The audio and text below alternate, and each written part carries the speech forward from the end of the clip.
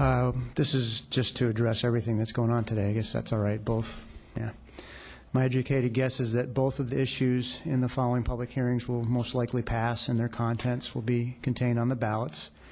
Once the amendments are passed, you'll probably spend a large amount to educate us, and truthfully, it'll just be an attempt to manipulate the voters into voluntarily giving you more money to waste.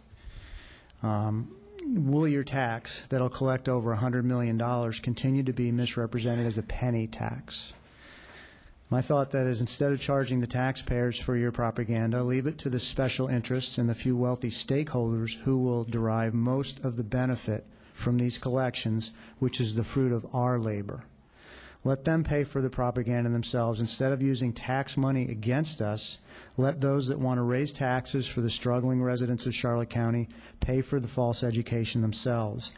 If this is ru- really and truthfully just a penny tax, please see me after the meeting, and I'll be glad to donate the penny out of my own pocket.